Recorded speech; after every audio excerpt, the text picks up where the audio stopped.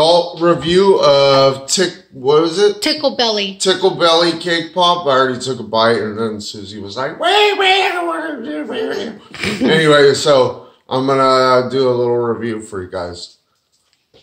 Oh, about so good, so moist and soft, and the frosting bomb. It's, It's- like a candy covered strawberry. It has so much flavor.